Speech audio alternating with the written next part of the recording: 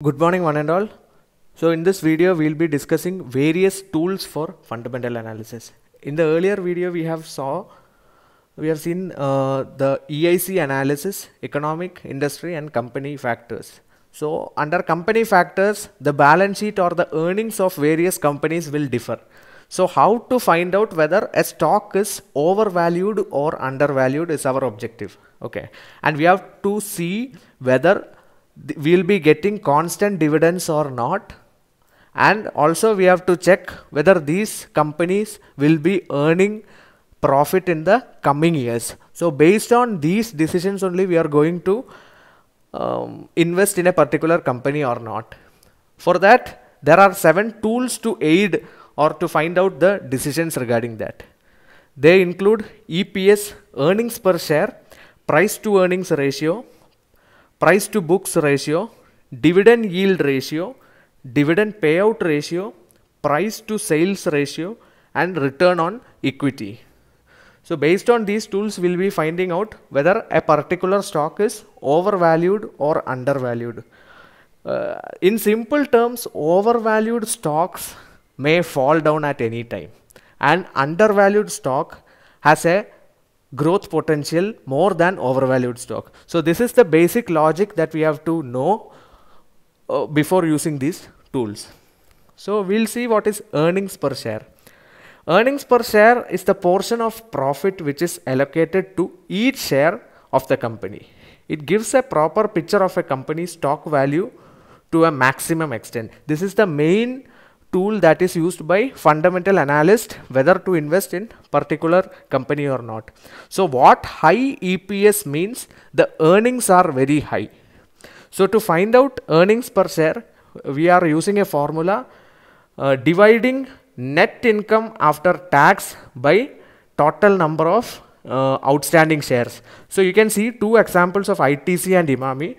The EPS of ITC will be 77 per share and Emami will be 5.5 per share. So ITC can be considered as a market leader in this example because yeah, yeah, it has high EPS which shows uh, the earnings are also very high. And there are three EPS, three types of EPS. Trailing EPS, current EPS and forward EPS. Trailing EPS is nothing but the EPS of last year. Current EPS is the EPS of this year and forward EPS will be the EPS of next fiscal year and uh, the current and forward EPS are uh, just a projection. So the difference uh, coming is like the net income after tax of trailing EPS will be last year's net income and current EPS and forward EPS the net income after tax will be projected. Now we'll see price to earning ratio. This is yet another important fundamental analysis tool that, that can be used to identify whether a stock is overvalued or undervalued. Uh, PE ratio is the market value of each share. That means current market price or CMP. CMP divided by EPS will give you the price to earnings ratio. So what the market is willing to pay for the company's earnings. What the market means, the current market price of the share and the company's earnings can be related to find out PE ratio. In general, a high PE ratio suggests that investors are expecting high earnings growth in the future compared to the companies with lower PE ratio. So, in the uh, before be the previous slide also we saw if there is high EPS means uh, high earnings are expected. Same as PE ratio. When PE ratio is high, the earnings expectation will also be high. Uh, and uh, we are seeing two types of price earnings ratio. Trailing PE, it is it talks about the uh, PE ratio for the last 12 months and forward PE for the next 12 months, which is of course a projection. Now price to book ratio. It is a ratio to compare company's current market share to its book value. It tells what company will be left if it liquidates all assets and repay all its liabilities. So it, talks about the current market price of a stock and the book value of that share. So if PB ratio is less than 1, it indicates that stock is undervalued and you can obviously go for an investment decision. For example, based on yesterday's, that means 20th April 2020, the current market price of State Bank was 192.1, but its book value was 219.90. So PB ratio is less than 1, which is 0.87. So you can have uh, this in your portfolio. So generally PB ratio should be lesser than 1 for going to invest in that particular company. Now next up dividend yield ratio. It helps to know how much a company is paying out dividend in every year related to its share price. So dividend yield ratio is very important for investors who are seeking uh, dividend in dividend income or regular income. So dividend yield ratio is annual dividend of a stock divided by current market price. For example, a share price is uh, at 50 rupees and it pays dividend 1 rupee per year. The dividend yield ratio is equal to 2%. That is 1 by 50 into 100.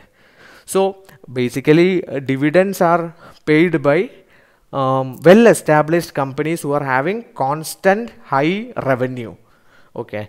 But uh, some companies who have start, who have started their operations recently may not give their uh, profits as dividends to its shareholders because it may plow back its profits to grow more okay or to expand their operations. Now when it comes to dividend payout ratio it is the amount of dividend which is paid to the shareholders in relation to the net income of the company. It helps to know what portion of the income of a company is being given to or distributed to its shareholders. So dividend payout ratio is total amount of dividend divided by net income or dividend per share divided by earnings per share. For example, if earnings of a company is rupees 35 and pays annual dividend of 7, the dividend payout ratio will be 20%. That means 7 divided by 35 into 100. So high dividend payout companies uh, need to have a good amount of sales or uh, as I said earlier, well established companies only can give dividends as much as possible. So those those investor fellows who are looking for investing in dividend yielding stocks, please find out dividend payout ratio and dividend yield ratio. This will give you a better picture uh, as to how much percentage that you will get dividend if you compare it with the sales or share price. Fine. Now price to sales ratio. It compares the stock price to its revenue. It is used to compare with other companies in the same industry also. So it it is a relationship between uh, current market price of a share and its revenue. Revenue or profit from sales. So price to sales is equal to market capitalization divided by total revenue of the company. So market capitalization means total number of shares outstanding into current market price. Low ratio indicates that share is undervalued and you can go for investment. Limitation is that it does not take into consideration the debt or expenses of the company because it only takes the revenue part of a company and that will be a vague picture. And this is also obviously an important thing, return on equity. It studies how efficient a company is generating a return uh, from its shareholders investment. It measures the profitability of the company which is generated using the invested money of the shareholders based on the equity shares. So ROE is equal to net income divided by book value into 100. Uh, so ideal ROE uh, return on equity is between 13 to 15 percent. That means a company should earn at least 13 to 15 percentage from its investment from the shareholders or from equity shares. High return on investment means company is capable of generating more revenue without more capital and more debt that is also another reason for increase in ROE more debts means less shareholding and high ROE so the mixture of debt and equity should be justifiable So return on equity between 13 to 15 percent is ideal and you can consider for investing. Okay. There are chances that if you calculate some ROE of high debt companies to be around 30 to 40 percent even, don't go with that. And there are some companies whose uh, ROE will be lesser than 10 percent also. So ideal ROE is between 13 to 15 percent return on equity. Now just we'll compare all the seven tools. EPS is the portion of profit which company allocates to each share of the company. So if EPS is more, uh, those companies you can invest. Same as PE ratio. Higher PE ratio means more growth prospects. What the market, current market price of the share price based on the company's earnings. Price to book ratio. It is a ratio to compare the company's current market share to book value. So low PB ratio means more growth prospects. We have seen the example of State Bank of India and uh, PB ratio should be ideally lesser than 1. Next one, dividend yield ratio. Uh, it helps to know how much a company is paying out dividend in every year related to its share price. So, uh, dividend yield means the relationship between dividend and current market price or share price. But dividend payout ratio is the relationship between dividend pay, paid and net income of the company. That is the difference between D, DYR and DPR. So go for high dividend yield ratio to get more dividend and also high dividend payout ratio to get more dividend. When it comes to price to sales ratio, it compares the stock price to its revenue. So you can go for low P, uh, price to sales ratio, which talks about a hidden or underlying prospects for growth. And last up, return on equity. It measures the profitability of the company which is generated using the invested money of the shareholders, which should be ideally between 13 to 15 percent.